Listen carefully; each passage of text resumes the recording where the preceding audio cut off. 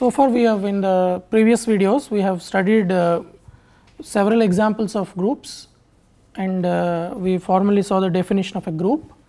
So, let us continue this uh, we will study in this video some properties of groups and some important types of groups. Okay, so, let us uh, recall I will spend 2 minutes recalling. So, G so if G is a group remember in, in the other videos I said G is a group under a specific operation. So, let us say under an operation star. So, that means it is closed under star. In other words, G cross G to G there is a binary operation, there exists an identity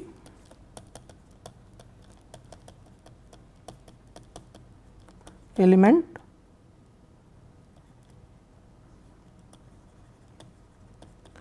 every element has an inverse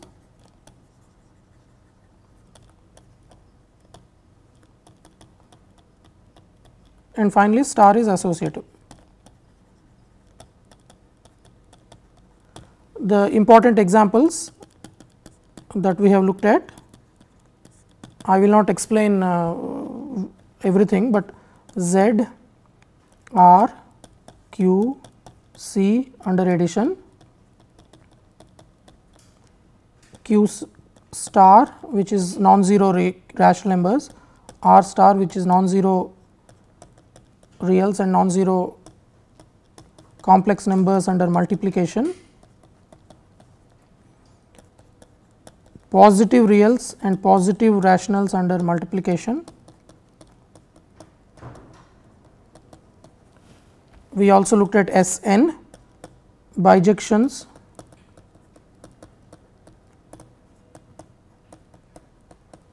okay and I think we looked at uh, uh, uh, roots of nth roots of 1 unity we looked at rotational symmetries of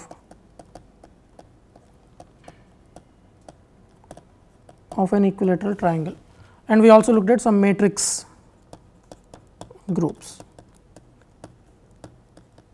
So, this is just to recall what we have done so far.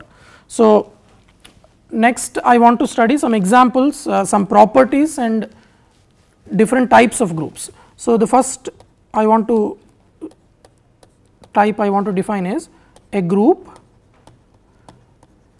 G comma let us say star is called abelian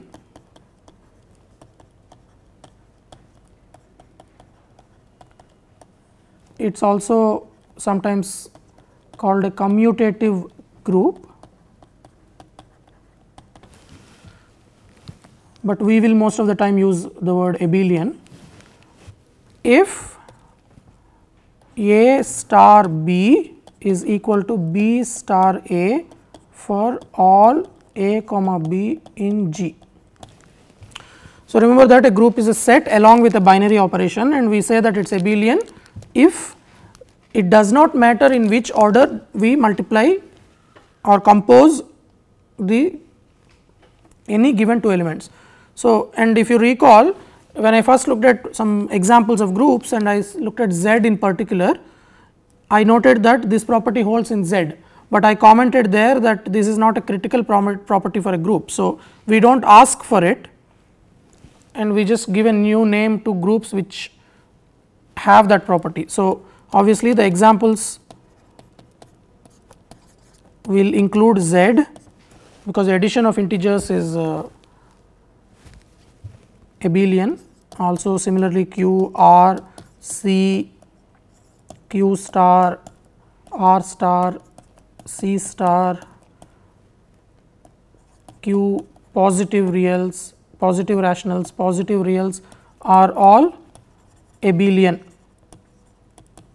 okay because uh, again I am not emphasizing the operation here because it is understood from the earlier videos. In Z Q R C the operation is addition. It is multiplication it is abelian Q star R star C star Q plus R plus they are all multiplication they are all abelian. So, this is easy. Usual multiplication and addition of numbers is abelian, but not everything is abelian as we saw. S n is not abelian. We specifically saw that S 3 was not abelian in the uh, earlier video where we looked at S 3 in uh, specific detail and concluded that it is not abelian. So, in uh, actually I should write for n at least 3. Uh, if you look at uh, and I will give this as an exercise. Remember S n is defined for any positive integer. So, S 1 and S 2 are abelian. S 1 is just a uh, bijections of a single element set. So, S 1 itself will be a single element group, S 2 is a bijections of a two element set. So, there will be two such bijections and it will be abelian. Okay. So, this is an important class of groups, they are called abelian groups if the group operation is commutative meaning A star B is same as B star A. We also use the word, we mostly use the word abelian. Okay and uh, also we have another natural definition. A group G is called finite if the number of elements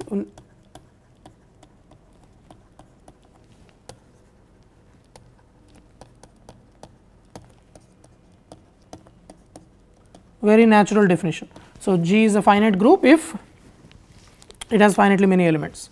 Okay. So, as you can see here I have already omitted to write the binary operation because it is not required for the definition. It is a purely set theoretic notion a group is finite if as a set it is finite. So, again examples S n is finite okay. as an exercise you can uh, do this S n has this is true for all n greater than or equal to 1. S n has n factorial elements and of course, Z, Q and so on the other list of groups remember Z, Q, R, C, Q star, R star and so on are not finite groups. Okay. Uh, a, related definition. If G is a finite group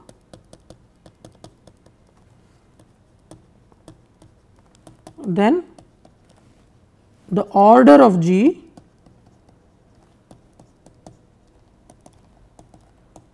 is defined to be the number of elements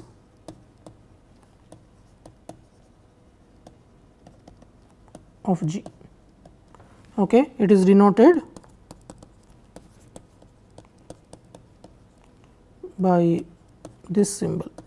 Okay. So, G with two horizontal uh, two vertical bars is by definition the order of G. So, for example, order of S n by the exercise I mentioned earlier is n factorial. Okay. So, we only usually talk about order for finite groups because otherwise it is this number of elements is infinite. Okay. So, next I want to talk about, so a, a, a, important distinction between groups is between finite groups and infinite groups and we have examples of both kinds of groups in our earlier examples. So, now some properties I want to discuss of groups. These are very general things I will check some of them leave the others for you to verify. One property that comes in very handy, handy is called cancellation property. What do I mean by this? Okay. So, let us say G is a group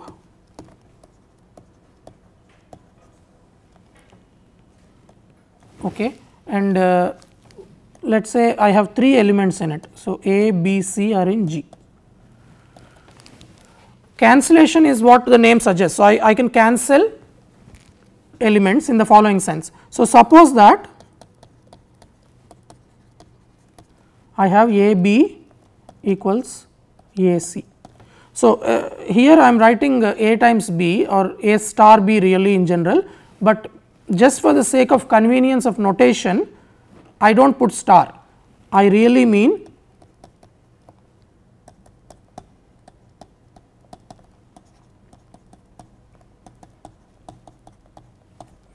but as you will agree it is easier to write without star. So, I will just write a b equals a c, but when I am talking generally about a group I will suppress the star symbol. So, and I write a b equals a c.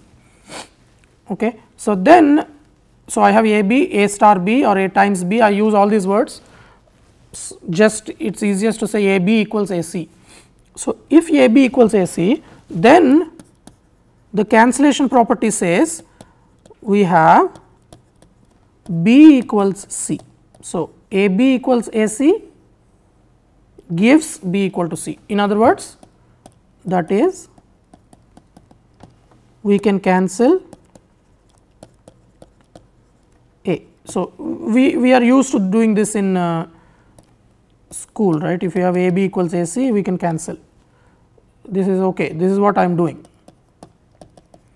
But in an abstract group this is a valid operation is what I want to now emphasize. Why is this? So, let us do this first time you are doing seeing this perhaps. So, let us check this carefully step by step. So, what are we given? We have given we have been given a b equals a c. So, I am going to use in the proof now only properties of groups that are contained in the definition. I do not want to use any properties of numbers or functions or rotations any kind of complex numbers anything that I know before I do not want to use I only want to use group axioms or group properties this is what the subject of abstract group theory does. So, I, I have this is an equation in G. Now, I can multiply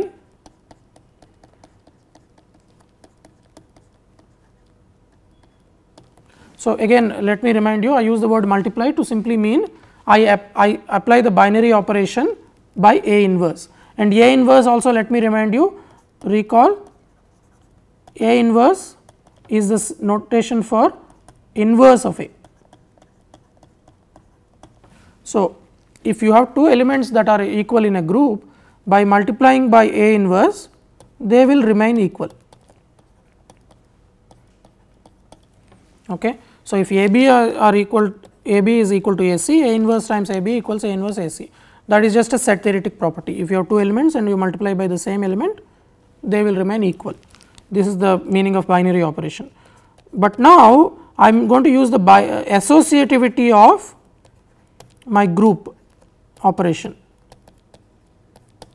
So, this is using associativity. So, I have used the property that we have associativity and I have earlier also used the property that I have inverses.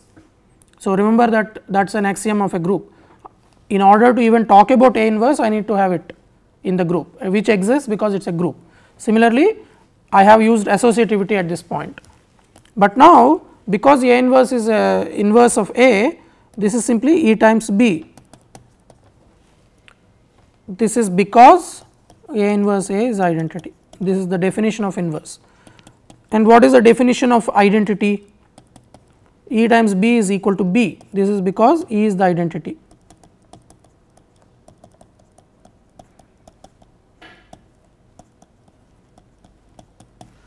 So, in other words we have used all the properties right we have used associativity that by that we have inverses that we have identity element and of course, we have a binary operation has been used throughout. So, this is remember what I just I wanted to prove. So, you have A b equals A c implies b equal to c. This should recall for you something that you have done in school or for a long time when you are solving this should remind you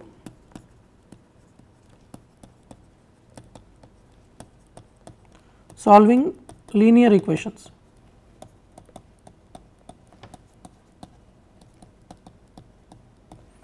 Okay, so, you have uh, let us say 2 x plus 3 equals 5 x plus 9 something like this. So, he, here if you want to do this if you solve this what do you do you can subtract 2 x and subtract 9. So, this will give you 3 x equals minus 6 implies x equal to minus 2. So, this we are used to doing in some sense without thinking a lot whether it is valid or not. It is not always valid and in order to make it valid we have to define proper mathematical structures and a group does that. A group allows you a systematic correct setting where you can perform such operations. Many of the things so adding, subtracting, multiplying, cancelling all these are valid operations in a group. So, this is just a side remark do not think too much about it. I am just trying to justify why cancellation property is something that we are used to dealing with and in the new setting of an abstract group we have it. Once you have a cancellation property we can do some more things. So, a group remember a group always contains the identity element I, I keep saying in all my videos I have, been saying that existence of the identity element is an important part of definition of a group. But I have been sloppy if you noticed in earlier videos whether sometimes I say it has a, an identity or the identity, but now I will justify everything by saying a group has a unique identity element. Namely, a group cannot admit two distinct identity elements and hence we are allowed to say the identity element of a group. Why is this? Why does it have a unique identity? So, suppose not. So, suppose so why we have to prove this right anything we write we have to prove. So, suppose that G has two identities let us say E and E prime. Uh, note that we have been using the letter E to denote uh, um, identity element of a group. So, E and E prime let us say serve as the identity and at this point let us recall also the definition of the identity element. What is an identity element? It is an element which has the property that when you multiply any element of the group with it you have to get the element back. So, for example, when you multiply E with E you get E this is the definition of the identity element. So, E is the identity element, small e is some other element, I mean it is some element of the group. So, E times E is E. But what is uh, E times E prime? E prime is also the identity element, an identity element of the group. E is an element of the group. So, E times E prime must be E because E prime is an identity element. This is because E prime is the identity element. E prime is identity element means G times E prime is equal to G for every G in the group G. I am applying it to E. So, E prime E times E prime is E, but then E times E is also E. So, E times E is equal to E times E prime. But now cancellation property says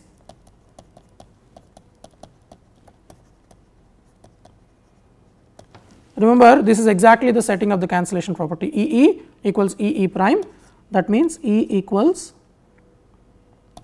E prime as we wanted. So, if you start with two identities they are equal. So, a group has exactly one identity it must have one identity it cannot have two different identities. Also, so this is one property that will immediately follow from cancellation property. Another property any element of G has a unique inverse. Okay. Again if, you go back and see the videos earlier, I have been sloppy sometimes I say uh, let G be the inverse of G, let, let, G inverse be the inverse of G or let it be A inverse of G. I have been maybe inconsistent in my usage, but again I will prove that inverse has to be unique. So, let us say G is an element of uh, all the arguments here are very standard arguments, but they are critical arguments to understand group theory how to work with abstract groups in order to understand and familiarize yourself with these things you have to understand these arguments. They are simple, but if you are seeing them for the first time they will require some getting used to. So, let us say G is an small g is an element of capital G. So, suppose G has two inverses say G1 and G2. Remember my claim is that every element has a unique inverse. Certainly it has some inverse because that is the definition of a group. Every element has an inverse, but suppose it has two inverses. So, then we know that G times G1 is equal to the identity element by definition of an inverse, but so is G times G2 because G2 is also an inverse of G, but again cancellation property gives you forget this you, you apply cancellation property to this gives you G1 equals G2. So, again very simple, but you conclude that cancellation property immediately gives you inverse has to be unique. One more uh, such thing I want to say, if you take let us say G1 comma G2 are elements in a group. So, suppose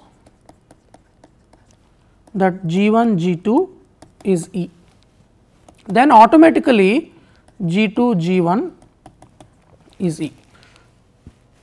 Okay. So, remember that I am working with an arbitrary group G, it is not necessarily abelian, I cannot in general switch. So, note in general G is not abelian. So, it is not true that G 1 times G 2 equals G 2 times G 1 for two elements G 1 G 2 of G. It is certainly not true that G 1 G 2 equals G 2 G 1 for two elements in a group in general. However, if G 1 G 2 is equal to E, it must automatically mean that G 2 G 1 equals E. So, inverse, so in other words if G 2 is inverse of G 1 they commute and this is again an easy application of the cancellation property. Let us take G 1 G 2 equals E. Then, so then what do we do? So, if you multiply by um, So, I want to conclude that G 2 equals E, G 2 G 1 is equal to E. Let me now continue. So, G 1 G 2 is equal to E. So, by multiplying both sides by G 1 inverse, what do I get? G 1 inverse.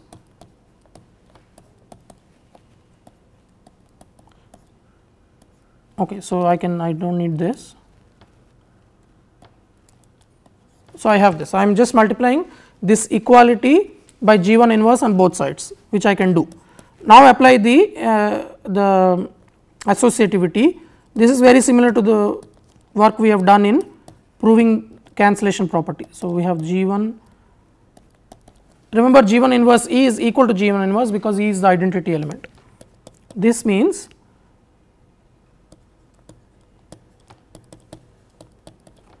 because G 1 inverse G 1 is E and finally, this means G 2 is G 1 inverse. Note that that means if G 1 times G 2 is equal to E using group axioms we are able to conclude G 2 is G 1 inverse and I, earlier in the previous slide I have shown that inverse of an element is unique. So, G 2 is the unique inverse of G 1. So, that means now let us see what we want to prove G 2 times G 1 to prove the, the whole thing here is to prove if G 1 G 2 is equal to E then G 2 G 1 is also equal to E. So, why is this true? But because we have already concluded G 2 is G 1 inverse. So, G 2 G 1 is G 1 inverse G 1, but G 1 inverse G 1 is by definition of the inverse identity. So, if G 1 G 2 is identity G 2 G 1 is equal to identity. So, this in order to check something is the identity element it is enough to check the something is the inverse it is enough to check that product in one direction is identity. And similarly one more uh, property uh, maybe I will leave these as exercises for you very similar to the work that we have done in these things. So, if uh, G is an element of G then uh, G inverse whole inverse is G. So, this is exercise 1 for you. This means that inverse of G inverse is G which is actually if you just write out what it means is obvious. Similarly, if G and H are elements of a group G then the inverse of G H is H inverse times G inverse. So, these are also easy exercises that I encourage you to do just it they will follow from the definition of inverses and group axioms. Okay. So, and some more uh, notation now I want to introduce in order to talk about multiplication tables.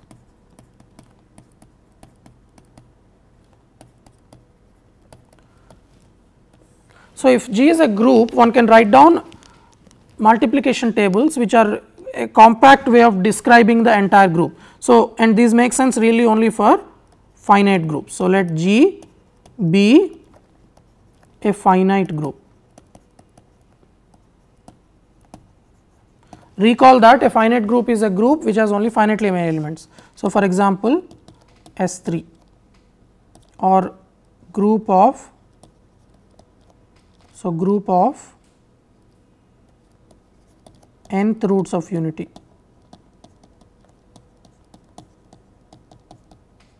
These are all finite groups. So, multiplication table as I said is a table which completely describes the group.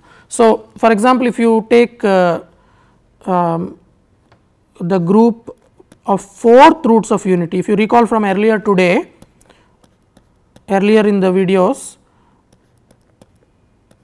I defined this group which is the group of fourth roots of unity.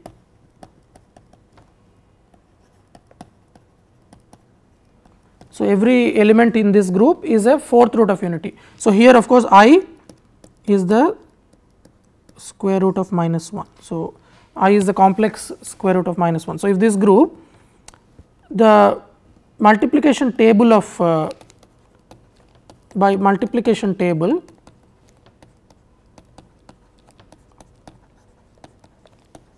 of this group I mean the following. So, I am going to draw a table like this I will have one row for every element of the group and similarly one row one column for every element of the group. Okay, so, I am going to draw a grid in some sense. So, a multiplication table. So, clearly this only is possible if the group has only finitely many elements. If it has infinitely many elements, you cannot just uh, contain the uh, information in a table like this. So, in any position, for example, if this position I have i in the row and minus 1 in the column, I will write down the product. So, in this case it is minus i. So, for example, let us just do 1, 1 times anything is itself. So, this is just this minus 1 is minus 1, 1 minus i and i. Here I have i, i times minus 1 is minus i, i times i is i squared which is minus 1, i times minus i is minus i squared which is 1, minus i times 1 is minus i, minus i times minus 1 is i minus i times i is 1 minus i times minus i is minus 1. Okay. So, this is the multiplication table of this group of fourth roots of unity. And if you just stare at this table for a minute and if you forget the first row and the first column only focus on the interior part of this table. So, these are just labels okay forget those.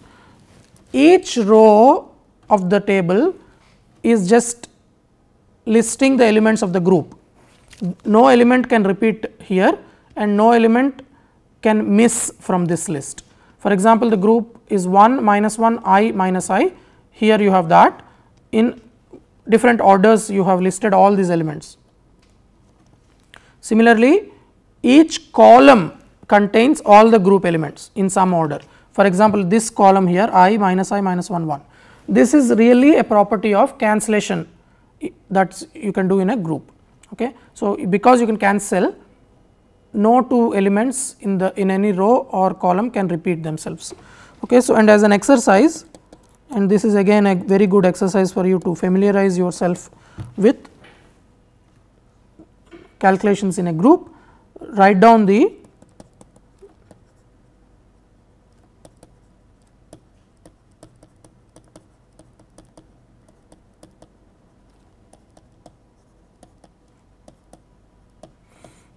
Remember S3 from earlier video, S3 was the group of bijections of a 3 element set. So, if you recall I have used this notation.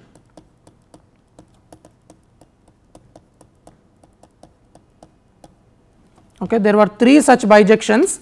If you go back to the beginning uh, uh, uh first video, I have completely described each element here. F1 was the identity bijection, F2 is the bijection which fixes one and interchanges two elements, I do not remember exactly what it is, but go back to it and write down the multiplication table. So, along these lines that we have done for this group, it will have 6 rows and 6 columns and you have to fill in each each spot in the table and as a way to check your answer make sure that it the table that you come up with at the end of the work has the property that this entire group is listed in each row and each column.